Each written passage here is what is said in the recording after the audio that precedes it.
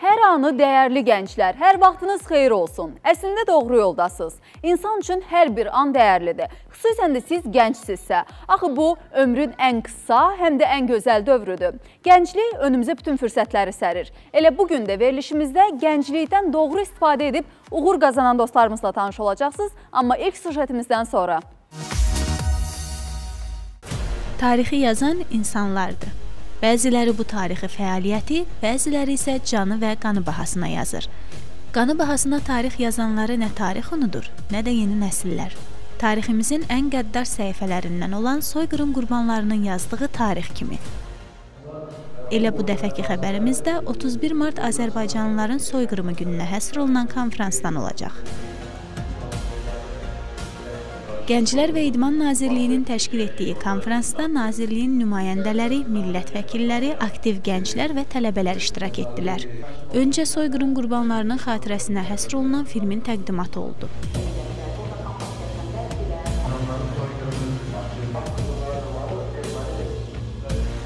Qonaqlar çıxışları zamanı tarixin bilinən və bilinməyən tərəflərindən, müstəqilliyimizi borclu olduğumuz qəhrəmanlardan və soyqırım haqqında düzgün informasiyaların dünya ictimaiyyətinə çatdırılmasında gənclərin rolundan söhbət açdılar.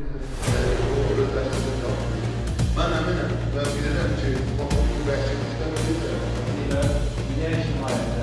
Gənclər də çıxış edərək bu tarixi nə unutmağa, nə də unutturmamağa haqları olmadığını xüsusi vurğuladılar. Qurban bu gün səhər Almaniyadan gəlib. Uzaq səfərdən gəlsə də təklifimizi qəbul edib və təcrübələrini bizimlə bölüşəcək. Buyur Qurban. I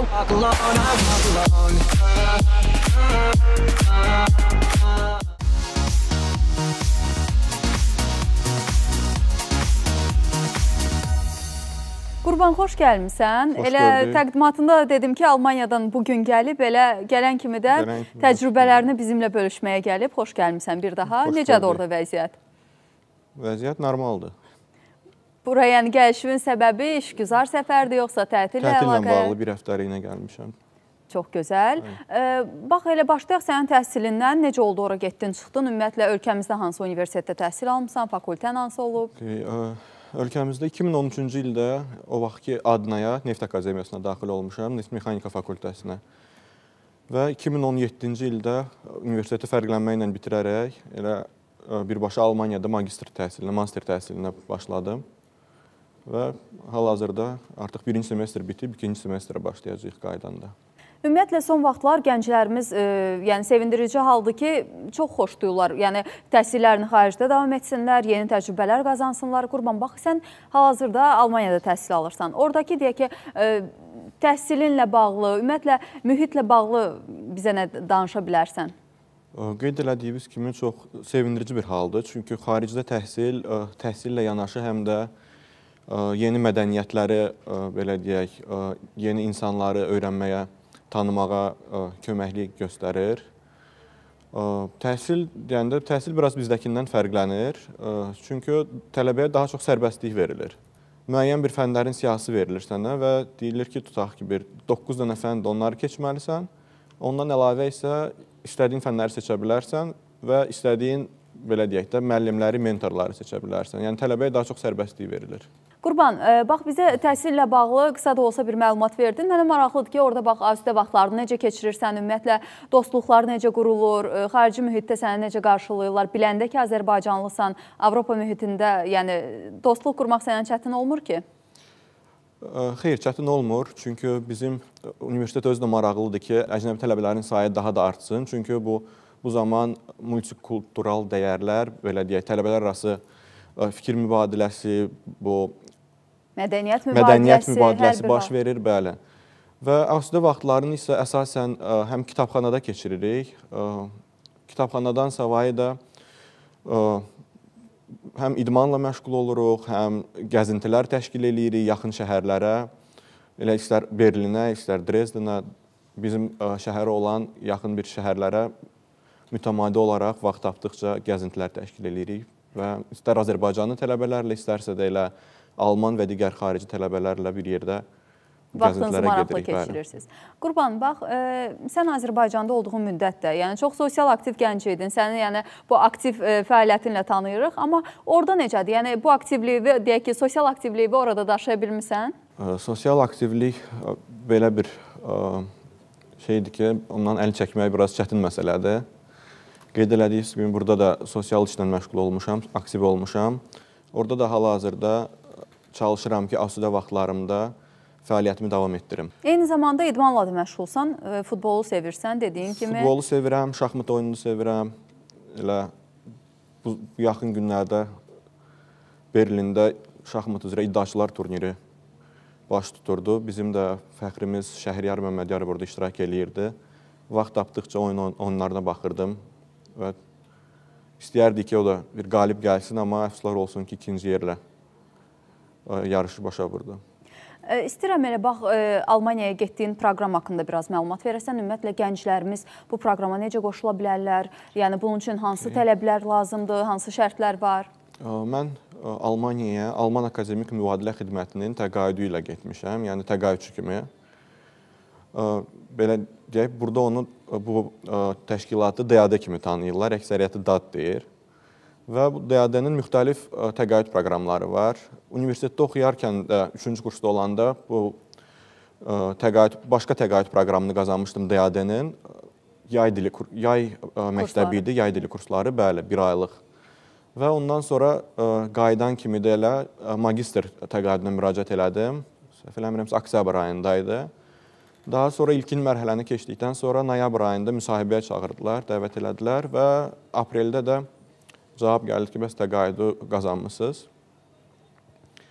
Ə, Bu təqaüdə ə, istənilən belə deyək, tələbə müraciət eləyə bilər. Əsas odur ki, 4-cü kursda oxusun və ya universiteti ə, bitirməyindən 6 il keçməsin. Yəni 6 il müddətində müraciət eləyə bilərlər.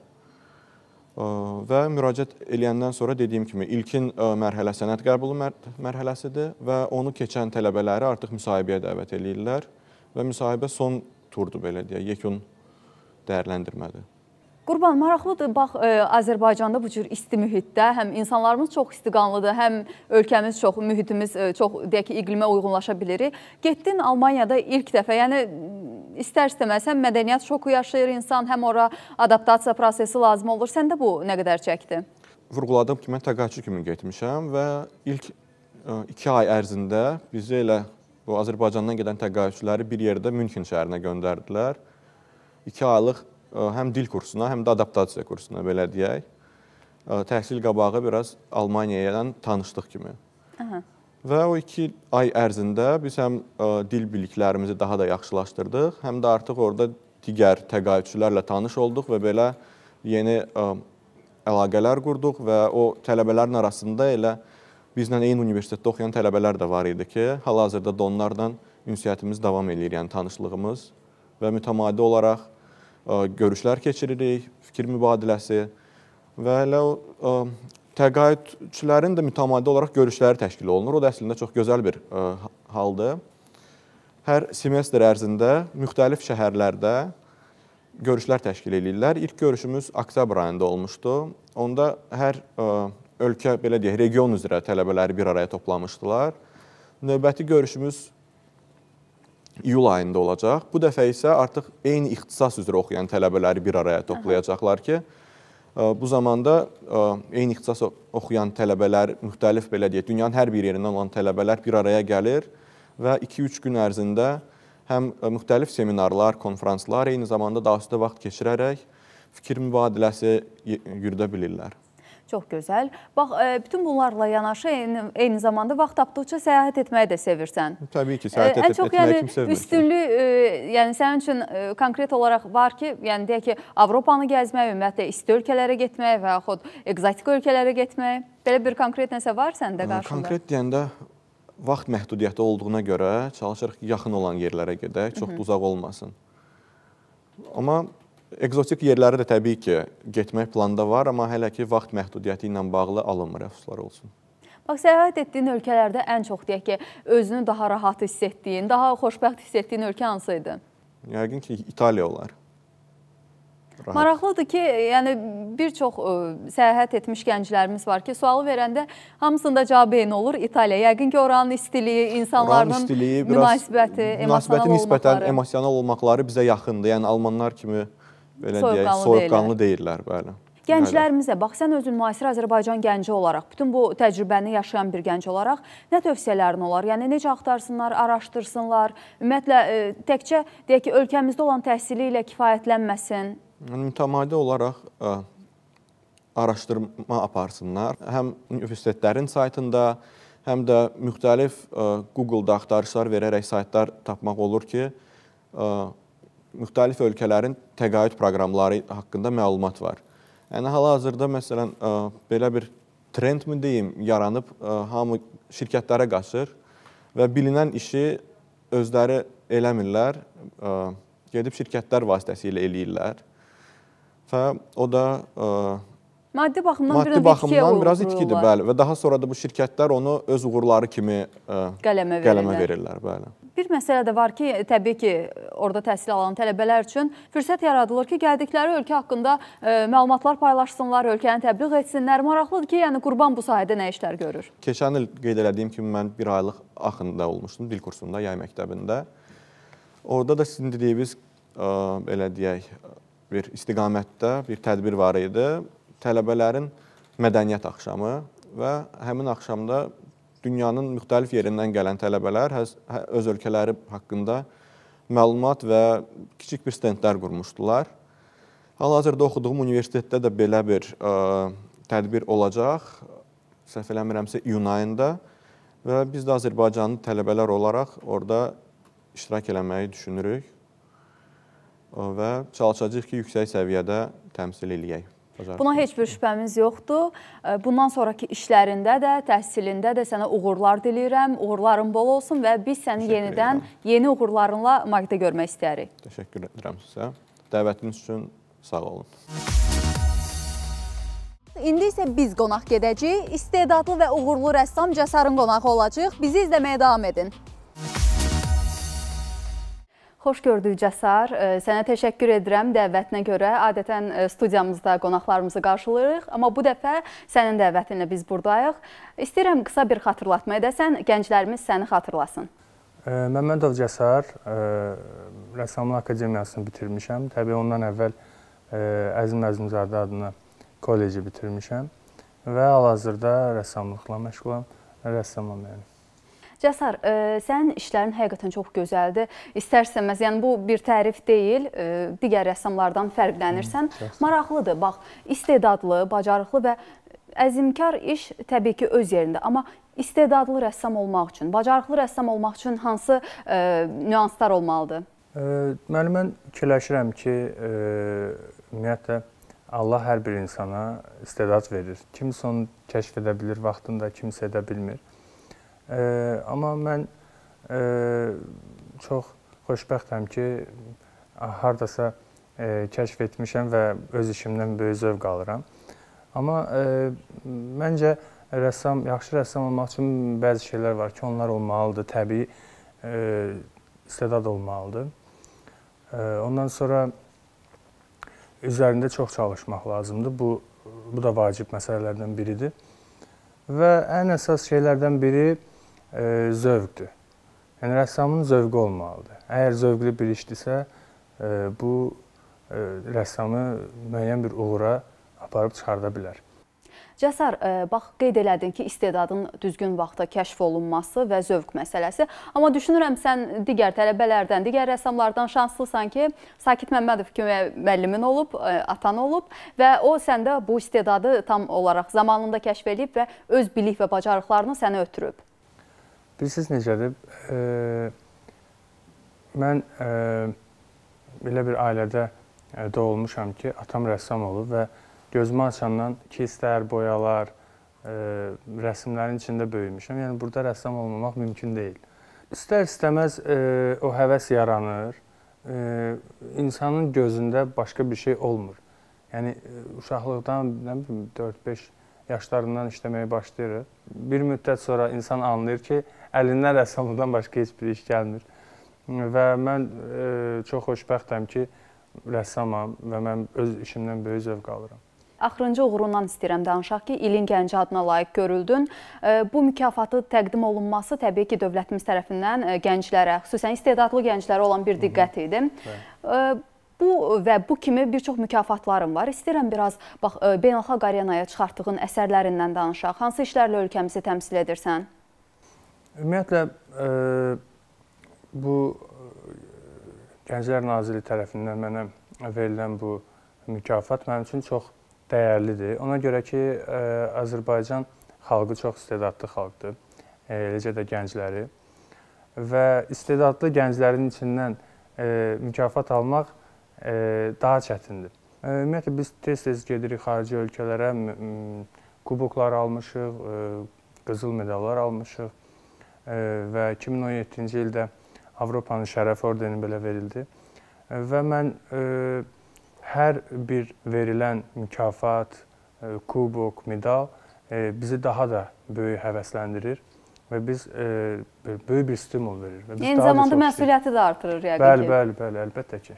Cəsar, bax mənə maraqlıdır. Sənin əsərlərinin arasında bəziləri var ki, həqiqətən loru dildə desək deyir ki, rəsm əsəri mənlə danışırsan ki. Bu yəqin ki, sənin fərqliliyindir. Cəsarın əsərlərini, Cəsarın işlərini digər rəssamların işlərindən nə fərqləndirir? Mən e, çalışıram ki, biraz, e, yəni təbii ki, yaş e, məhdudiyyəti var. Yəni bu e, fərqlənmək, özünü yol, özünə insan yol seçmək rəssamlıqdır. Bu tədricən olur, yavaş-yavaş. E, amma mən yəni həmişə çalışmışam ki, e, biraz digərlərindən fərqlənim. Biraz daha başqa mövzulara e, yönəlim. Yəni maraqlı belə qeyri-adi bir şeylər eləməyə çalışım müəyyən vaxt keçdikcə hiss olunur ki, artıq e, mənim işlərim digərlərindən seçilir. Bunu mən hiss eləməyə başladım bir neçə il öncə və daha da biraz e, fərqlənməyə çalışdım. Məncə rəssamlığın da ən vacib tərəflərindən biri də budur. İstəyirəm ə, e, axırıncı fərdi sərgindən danışaq biraz. Kifayət qədər uğurlu oldu. Ə, e, bir çox ə, insanlar qatıldı ora, professionallar, mütəxəssislər dəyərləndirdilər onlarda. Sən ə, yəni bu keçir, keçirilən e, fərdi sərgilərlə, deyək ki, öz əsərlərinlə hansı mesajları ötürə bilirsən? E, mən 2 e, ildən bir sərgi edirəm Azərbaycanda.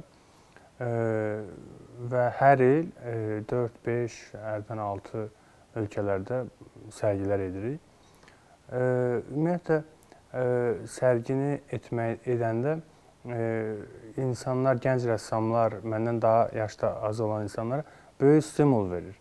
Və onlar onlar da istəyirlər belə sərgiləri olsun, işləsinlər. Və e, mən arzu edirəm bütün rəssamlar üzərində işləsinlər e, və çox çalışacaqsa əgər Allah o e, çalışqanlığı yerdə qoymaz və onun mütləq uğurunu verəcək. Yəni düşünürsən ki, uğurlu insan olmaq üçün ümumiyyətlə e, yenə də çox çalışmaq bəli, lazımdır, bəli, ruhdan mütləq. düşməmək və əzmkar mütləq, olmaq lazımdır. Mütləq. Mütləq. Cəsar, ümumiyyətlə yaradıcı insanlar bir növ əhval-ruhiyyə insanıdırlar. Yəni deyək ki, əgər əhval-ruhiyyəsi çox yaxşıdırsa və yaxud rəssamlarda bu əksinə olur, çox vaxt depressiyada olanda çox deyirlər, möhtəşəm əsərlər yaradılır. Səndə necədir? Ümumiyyətlə iş prosesi səndə müəyyən bir konkret bir saatın var, yoxsa necə? Mən ümumiyyətlə ə, səhərlər işləməyi xoşlamıram. Mən ə, axşam üstündən başlayıram. Yəni bütün gecə boyu işləyirəm. Yəni 3, 4, 5, hətta 6 6-ya qədər işlədiyim vaxtlar olur. Ə, yəni saat 5-dən belə deyək, səhər 5-ə arası mənim iş ə, vaxtımdır. Və mən çox az yatıram, 3-4 saat mənə bəs eləyir. Amma o gecə yaradılan işlə gündüz yaradılan işdə mənim üçün fərqi var. Kimsə səhər xoşlayır, kimsə axşam. Mən axşam xoşlayıram yəni. Cəsar, ə, e, rəssamlıqda hansı nüanslar var ki, o bir növ rəssamların öz sirləridir? Təbii ki, var yəni. Rəssamlığın ə, e, işləmə texnikasında o qədər şeylər var ki, yəni ə, e, onu ancaq rəssam özü bilir. Məsələn, elə sirlər var ki, yəni mən onu heç vaxt kiməsə demərəm. Ə, Çünki o, onu mən tapmışam. Mən müəyyən şeyləri bəlkə məsələn e, rəssam öz tələbəsinə müəyyən şeyləri öyrətməlidir. Amma rəssamın tapdığı şey ona özəldir də, onun onundur yəni. O da müəyyən vaxtdan sonra özü tapmalıdır nəsə. Bəlkə elə bu yanaşma ilədir ki, sən ə, tələbən yoxdur. E, Yəni hələ ki öyrətmirsən heç kimə bu sirləri. Yox, mən tələbəm yoxdur, amma olacaq da inşallah. Yəni e, düşünürəm ki, e, gələcəkdə təbii ki, tələbələr. İndi yəni vaxt biraz Məhdudiyyətindən. məhdudiyyəti var. Bəli. Cəsar, bax qatıldığın sərgilər ölkəmizi təmsil etmək, hər bir şey öz yerində, bunu tamaşaçılarımız da bilir, amma bundan sonrakı planların nələrdir? Yəni hal-hazırda işlər var ki, üzərində işləyirsən ki, onlarla beynəlxalq arenada ölkəmizi təmsil edəsən, öz sərgilərin ola bilər bu.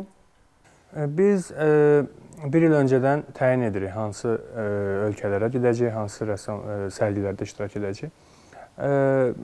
Məsələn, bu illəri 2018-ci ildə e, biz e, Çində, Portuqaliyada, Moskvada, e, bir də Fransada sərgilərdə iştirak edəcəyik.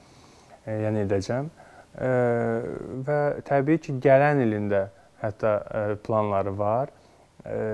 Yəni öncədən planlı şəkildə olanda çox yaxşı olur və mən düşünürəm ki, inşallah orada olan o kubokları yenə də gətirər Azərbaycana. Buna heç bir şübhəmiz yoxdur. Cəsar elə dedin ki, bax hər şeyi planlayıram öncədən, elə 1 il öncədən ə, gələn ilin deyək ki, qatılacağım sərgiləri, ə, fərdi sərgiləri hamısını ə, planlayıram. Yəqin ki, bu uğur qazanmağın əsas sirri də elə tam olaraq planlı, məqsədli şəkildə ə, addımlamaqdadır. Bəli, əlbəttə ki, yəni hər sərginin öz e, mövzusu olur. O mövzuya uyğun hazırlaşdırılır. Məsələn, elə sərgilər var ki, ancaq qrafika mövzusu istəyirlər. Elə sərgilər var ki, portretlər lazımdır. Elə sərgilər var ki, dəniz mövzusudur. Yəni hər elə sərgilər var ki, azaddır yəni. Yəni mövzu olanda ə, çalışmaq lazımdır onu yüksək səviyyədə etmək ki, o mövzuda, o mövzusu olan bir sərgidə qalib gələsən. Mən onu ona ə, Bütün diqqətini yönəldirsən. Diqqətimi yönəldirəm və ə, çox vaxtı uğurlarım da olur yəni. Cəsar, ə, son olaraq istəyirəm ə, səndən ə, rəssamlığa marağı olanlara, həvəsi olanlara və bu işə yeni başlayanlara motivasiya olacaq bir ə, fikir alım. Uğur qazanmaq üçün deyək ki, nə etsinlər? Biz rəssamlıqda biraz ə, məşhur olmaq, tanınmaq çox, yəni biraz yox, çox çətindir. Yəni başqa ə, məsələn musiqi sahəsində və digər sahələrdə tanınmaq çox asandır. Amma rəssam ə, hər gün sərgi edə bilməz ki, yəni ə, iki, məsələn mən 2 ildən bir sərgi edirəm. Yəni 2 ildən bir sərgi ilə yəni ço- tez məşhur olmaq olmur. Amma bunun yaxşı tərəfi odur ki, rəssam məşhur oldusa, o həmişə qalıcı olur. Yəni o tez itib batmır yəni. Çünki yavaş-yavaş, yavaş-yavaş insanlar onu sevməyə başlayır. E, və mən e, düşünürəm ki, rəssamlar heç vaxt həvəsdən düşməməlidir. Təbii ki, gənc rəssamlar üzərində çox işləməlidir. Əgər çox işləyəcəksə, istedadı varsa, o mütləq uğur qazanacaq. Və ə, bir də bir şey soruşmaq istəyirəm səndən. Bax, bir çox rəssamlarda bu var ki, ə, tablolarından bəziləri var ki, onları heç sərgiyə belə, sərgiyə çıxarsalar belə satışa vermirlər, çünki onlara o qədər doğmadır. Bu ilk iş ola bilər və yaxud ən uğurlu işi ola bilər və yaxud sadəcə ona doğma bir iş ola bilər. Cəsarın belə bir işi var ki, yəni onu nə sərgiyə təqdim etmir, nə deyək ki, tam olaraq onu özü üçün qoruyub saxlayır. İndiki yaşıma qədər mən ə, əvvəllər də mənim çox sevdiyim, yəni ə, satmaq istəmədiyim və qoruduğum işlər olub. Amma müəyyən vaxt keçəndən sonra insan istər-istəməz inkişaf edir və o iş artıq biraz ə, yeni işlərə nisbətən geridə qalır. Hardasa. Çünki o ə, insan onu yox, başqasını tutmağa başlayır. Yəni indi tutduğum işlər var ki, hansı ki onu mən çox sevirəm. Ə, amma mən bilirəm ki, bir neçə ildən sonra yeni işlər olacaq ki, ə, artıq bu yox, Sevimli və onlar çevriləcək. sevilir. Yəni insan inkişaf etdikcə istər-istəməz işdə işlərdə o nəzərə çarpır. Cəsar sənə təşəkkür edirəm bu cür ə, maraqlı söhbətə görə. Biz həqiqətən zövq aldıq. Əminəm ki, izləyən tamaşaçılarımız da zövq alacaqlar. Uğurların bol olsun, davamlı olsun və biz də sənin uğurlarına sevinək. Çox sağ olun ki, gəldiniz siz də. Çox maraqlı söhbət oldu sizinlə. Minnətdaram sizə. Daha bir magin sonuna gəldik dostlar. Əgər siz də bacarıqlarınızı hər kəslə bölüşmək istəyirsinizsə, sosial şəbəkələr vasitəsilə bizə yazın və qonağımız olun. Görüşərik.